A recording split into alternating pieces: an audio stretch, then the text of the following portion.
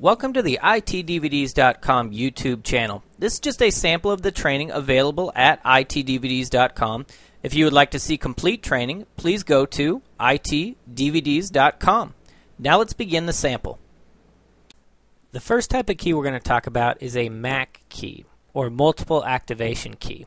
This is one serial number or one key that allows us to activate multiple Windows 7 computers. And we can activate our Windows 7 computers through the internet, which is the preferred method if your computers have access to the internet, or through the phone if your computers don't have access to the internet.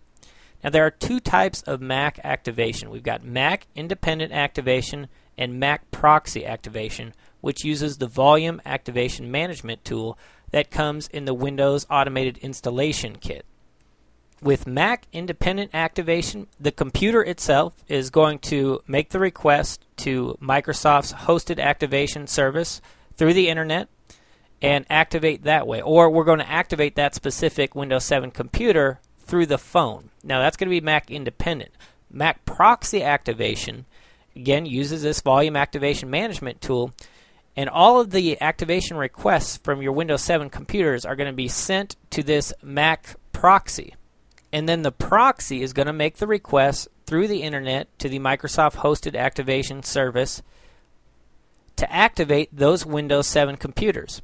And then the proxy gets back confirmation codes that yes, these computers can be activated, and then distributes those confirmation codes to the original Windows 7 computers that needed to be activated. Now, normally we're going to use the MAK independent activation method if our computers have access to the internet or if we have a small enough number of computers that don't have access to the internet and we can just activate them over the phone. We're going to use the MAK proxy activation if those computers, if we have a lot of computers that don't have access to the internet, and maybe we do have one computer that can get access to the internet that can be our MAK proxy. Now, when do we want to use a MAK key versus a KMS key? And a KMS key we'll talk about next. But we want to use a MAK key for computers that rarely or never connect to the corporate network. And we also want to use a MAK key when the number of computers needing activation does not meet the KMS activation threshold. And again, we'll talk about this a little bit later, but basically you need 25 Windows 7 computers or 5 Windows Server 2008 R2 computers to meet the KMS activation threshold. And if you don't have that, then you need to use a MAK key. Also in high security environments that have no access to the internet or the corporate network. Now there are a couple of different ways we can deploy Windows 7 using MAK.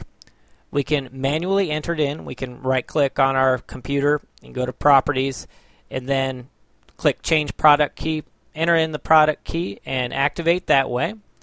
We can add the MAK key to an image. So our reference computer, and we're, we're going to talk about reference computers and taking images. But if we add the MAK key to that reference computer and then deploy that image, it's going to have that MAK key embedded in it.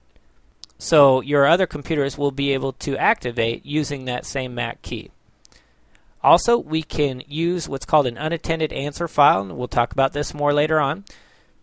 But we can add the MAK key to the specialized configuration path of that unattended answer file. So those are the different ways we're going to deploy Windows 7 using MAK.